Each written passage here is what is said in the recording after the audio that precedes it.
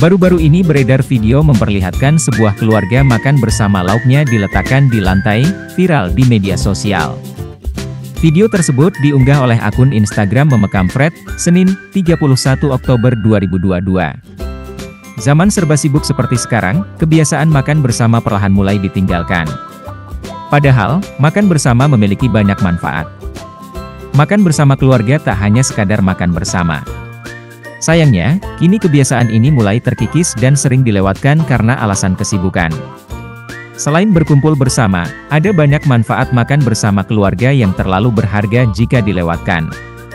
Seperti dalam video berikut ini, tampak sebuah keluarga sedang mengadakan makan bersama.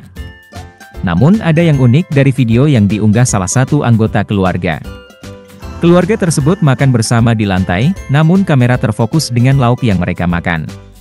Ternyata lauk tersebut diletakkan di atas lantai. Tampak keluarga tersebut menikmati makanan bersama tersebut. Sontak setelah video tersebut diunggah menuai berbagai komentar dari warganet.